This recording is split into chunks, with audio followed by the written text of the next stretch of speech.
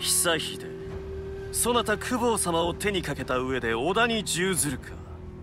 高顔甚だしいとはまさにこのことであろうな。どう思われようと結構。全ては私が目指す理想の世がためにございますから。醜き因子を消し乱世を壊す。理想のためには当然の行いと言えましょう。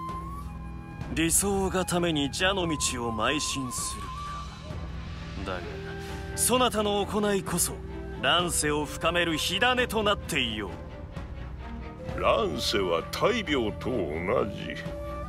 時には荒領事が必要です。それをいとうては世を癒すことなどできますまい。妄言よな。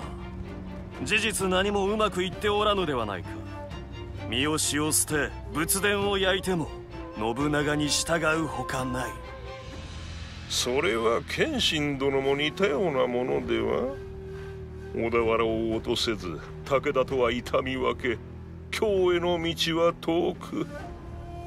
少子私とそなたを似た者とは冗談も休み休みにするのだな。おやこれは失礼我らの信念どうやら相入れぬようですな。